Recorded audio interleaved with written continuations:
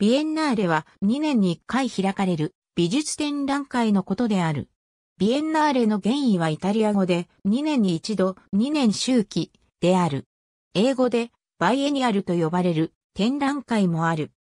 語源となったベネツィアビエンナーレは世界中から美術作家を招待して開催される展覧会として100年以上の歴史を持つ。サンパウロビエンナーレも第二次世界大戦後以来の歴史がある。1990年代以降は世界中にこうした国際美術展が増えている。多くは普段見ることのできない世界の美術を一堂に集めての美術関係者や住民同士の国際交流が目的であるが、地域おこしという目的も兼ねていることが多い。美術だけでなく、デザイン、ポスター、映画、CG、建築など幅広い視覚芸術分野や舞台芸術分野の2年ごとの大規模展もビエンナーレという名で開催されている。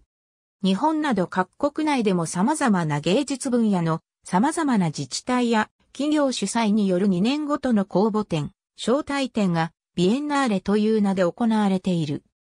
現代美術を扱うビエンナーレは1990年代以降、世界中で数が増えた一方、テーマや作家の顔ぶれが似たり、寄ったりになり、差別化ができていないという批判もある。